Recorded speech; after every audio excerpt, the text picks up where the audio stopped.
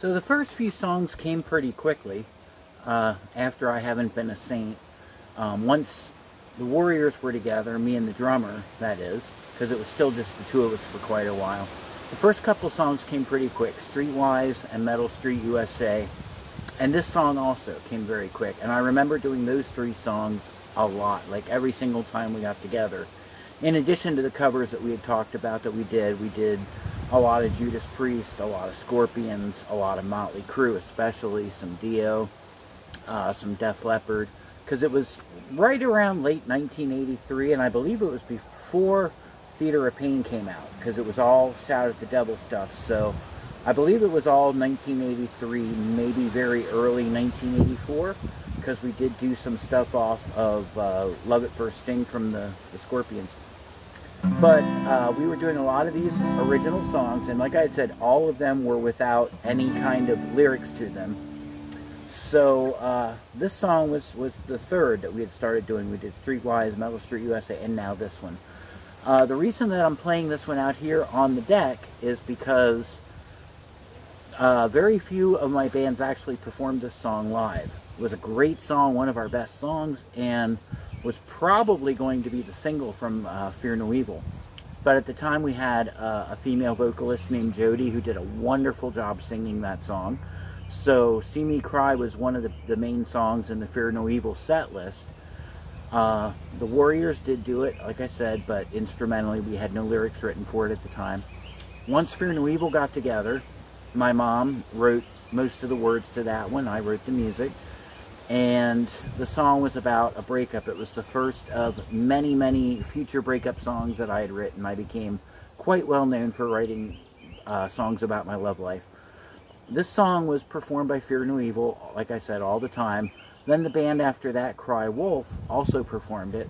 Uh, our singer Bob, who also played bass, did a fantastic job on it as well.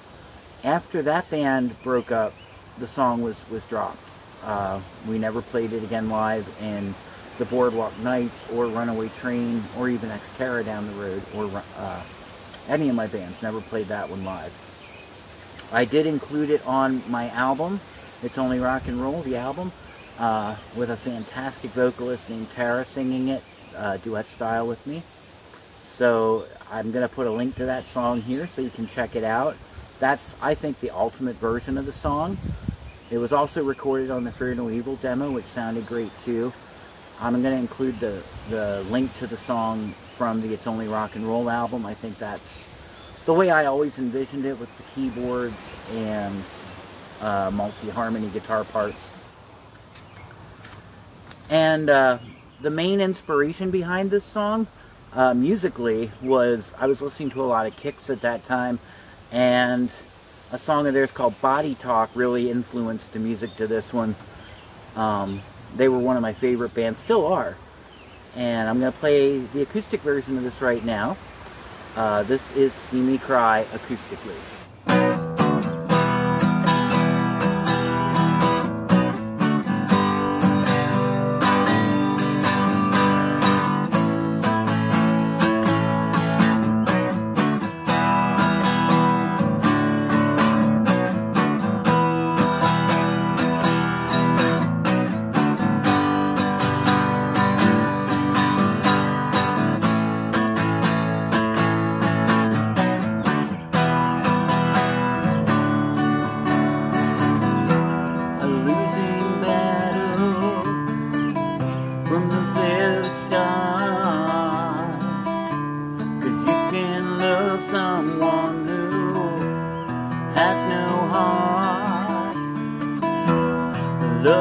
Balance of give and take. I gave a true heart, you took it to break. I always hide my feelings if inside.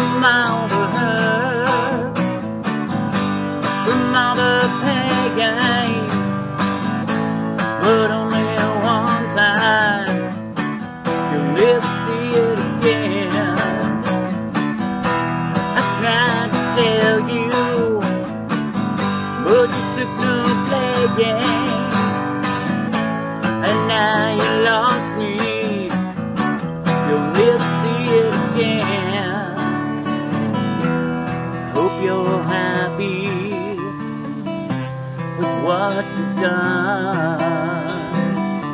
Cause you've lost more than you really want. Now you're left with nothing but lies. The lies that brought tears my eyes. I always hide my feelings. Kept inside. It's my way of keeping pain from hurting my pride. Your promise is so sweet. Oh, how could I know? Your life broke down my walls and my feelings show.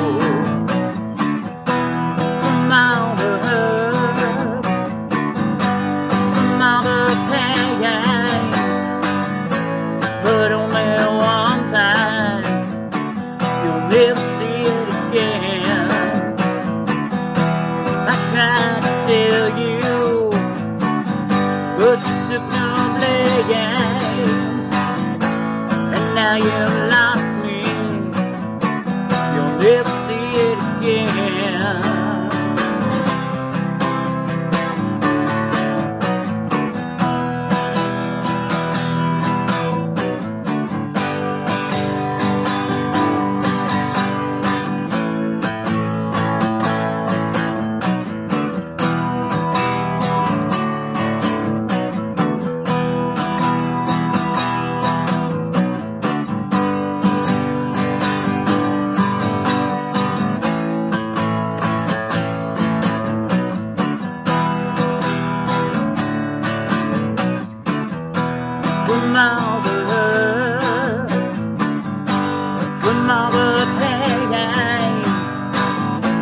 but only one time you'll never see it again.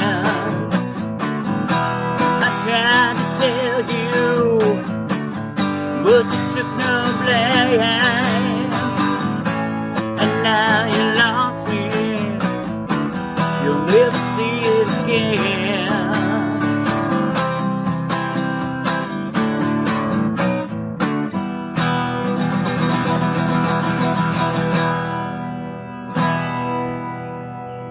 you soon.